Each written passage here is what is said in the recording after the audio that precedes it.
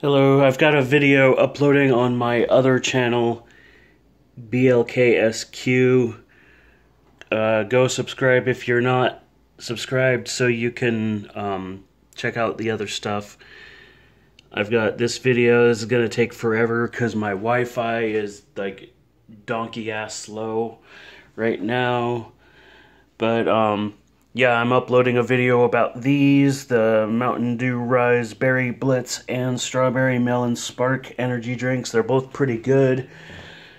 I had a peach mango one yesterday, but I just wanted to do another quick video about um, today's brunch packs. It's uh, mostly the usual stuff, but today we got these regular, like old school milk carton One's from Meadow Sweet. And they say March 31st, which is probably used by March 31st.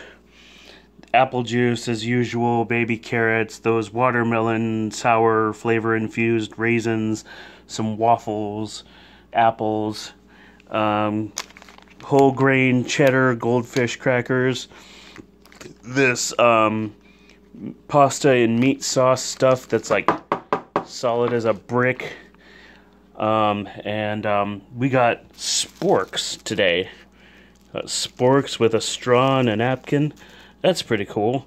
Okay, um, yeah, that's basically it. I just wanted to show this real quick because these are a little bit different to the usual milks that I've been getting, which are these um, Gossner cartons.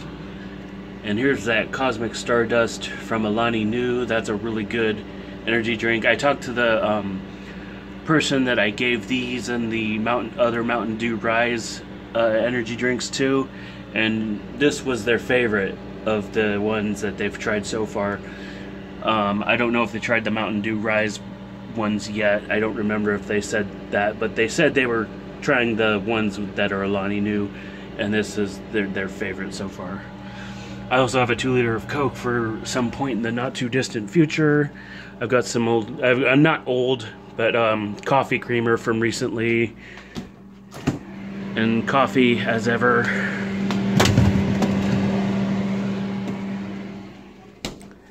And uh, a ton of stuff, some chili, some chicken noodle soup. We've got like all the chicken noodle soup. The uh, macaroni and cheese from a few different brands. I bought the Kraft stuff at the very back and the other stuff was from donations. Um, pasta, chicken, couple boxes of Special K, some this Cocoa Classics Arctic White Hot Chocolate Cocoa Mix. This is good stuff. I put it in my coffee. I've got a thing of peanut butter from Hampton Farms.